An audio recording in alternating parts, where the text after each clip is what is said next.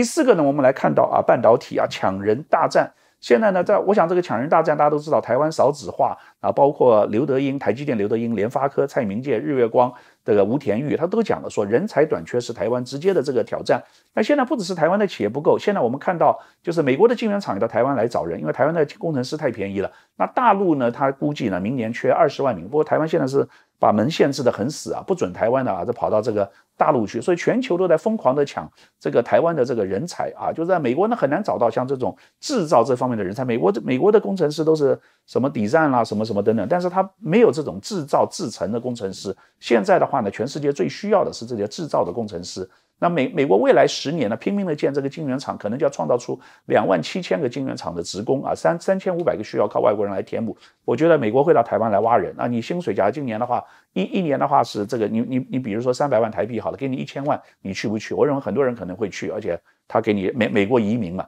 那所以我的观察呢，就是未来呢，半导体啊，这个是一个人才的大全球的人才的大战。那台湾的人才是最优啊，但是全世界都要抢这个人人才，所以结论是什么呢？人才的价格会大涨，那人才需要国际化。那台湾呢已经很忧虑了，台湾的这些半导体，所以它全球会来抢。所以台湾呢一未来的话，我我这个礼拜在这《工商时报》也写一篇文章，那我也提到了台湾的人才的未来必须要把这个盘子扩大。你要建半导体学院，不要在台湾建，你最好跑到美美国去建半导体学院，至少可以找到一些这个美国人。另外东南亚的这些的移民啊，应该把它移到台湾来啊，就让他训练他们作为这个工程师。